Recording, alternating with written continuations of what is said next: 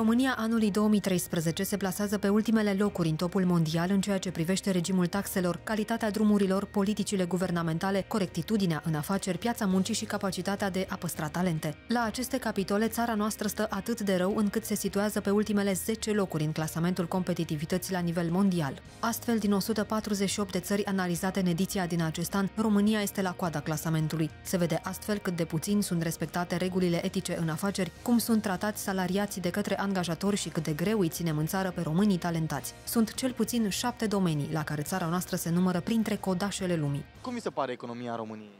Slabă, slabă. Slabă e tot. Dacă ar să dați o notă României, care ar fi aceea? De la 4 spre 3. Nu prea merge. Ai indiscutabil, suntem în urmă. Suntem în urmă. Nu mai avem uh, fabrici cum aveam odată, în comparație cu celelalte state, nu mai spun. Industrializarea la noi ce merge, merge, merg buticurile astea. Cu asta facem noi economia acum. Întrebarea este, se prezintă și România cu ceva lăudabil în fața lumii? România are și capitole la care excelează, cum ar fi impactul malariei în business. Datorită lipsei acestei boli tropicale, ocupăm prima poziție în clasamentul mondial.